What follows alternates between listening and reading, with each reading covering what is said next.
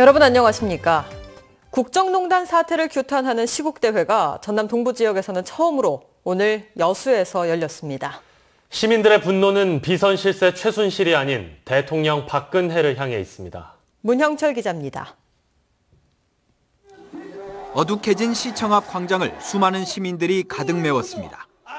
가슴에 담아둔 분노와 절망감은 대통령 퇴진이란 구호로 터져나왔습니다.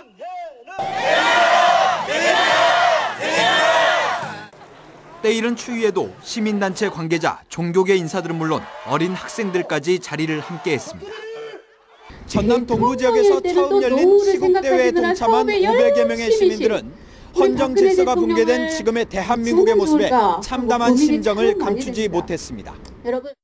정말로 부끄럽고 너무 허탈하고 참담합니다. 다시는 이런 일이 없도록 새로운 선거를 우리가 똑바르게 해야 될 것 같습니다.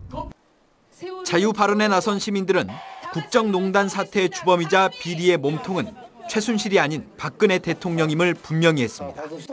한 개인의 비리로 결론 나는 것을 막기 위해 특별법 제정을 촉구하기도 했습니다. 특히 책임 총리제든 거국 내각이든 대통령이 자리를 지키는 한 아무 의미가 없다며 물갈이 대상은 내각이 아닌 박 대통령 자신이 돼야 한다고 강조했습니다.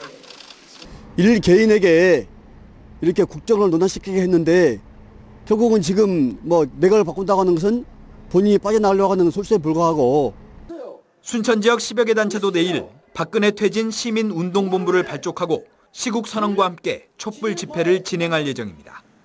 MBC 뉴스 문형철입니다.